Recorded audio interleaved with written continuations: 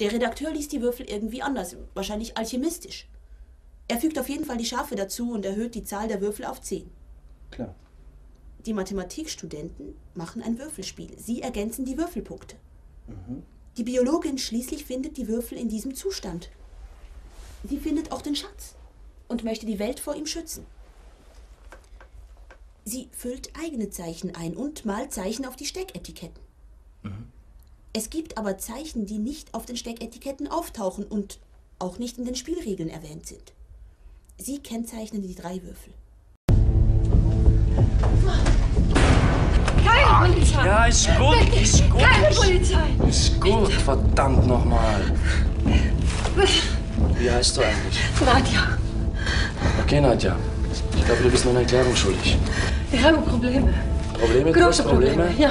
Ich glaube, ich habe hier Probleme. Verstehst du? Da ist eine Verrückte in meinem Taxi, ja? Ich will sie rausziehen, haut sich die Birne an. Ich gehe ins Krankenhaus und dann erfahre ich, dass sie von der Polizei gesucht wird. Du hast Probleme? Ich glaube, ich habe hier Probleme.